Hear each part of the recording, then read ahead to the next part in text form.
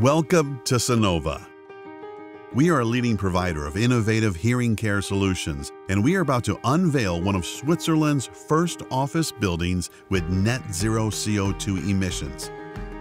Our new building in Murten houses the headquarters of Phonak Communications. Phonak Communications was founded in 1992, and it's Sonova's knowledge hub for miniaturized wireless systems. The architecture of this state-of-the-art building offers a modern and inspiring work setting. Its construction is part of our group's program to continuously reduce our environmental footprint. This building has an operational area of 4,100 square meters, an optimized volume of 18,000 cubic meters, and it can host up to 180 employees. To reduce energy consumption, we used renewable and reusable building materials whenever possible. Thick walls and ceilings provide both thermal isolation and heat accumulation.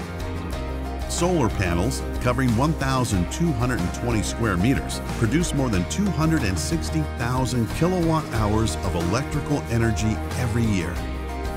Time now for a look inside this environmentally friendly zero energy building. The central staircase forms the spine of the building and nicely embodies our working culture open, friendly, and collaborative.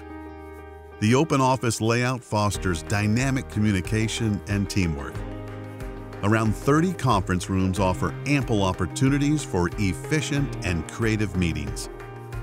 Our employees and visitors can enjoy a very natural and comfortable office temperature of between 21 and 26 degrees Celsius all year round, without active heating or cooling. How do we achieve this? Air renewal is done through the windows and not ventilation ducts.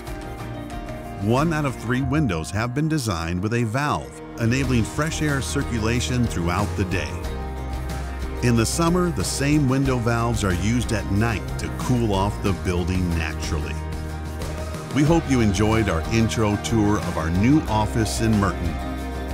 This building showcases how we at Sonova live our corporate values of innovation, excellence, accountability, and teamwork. We are socially responsible, and we care not only for our customers and employees, but also for our environment.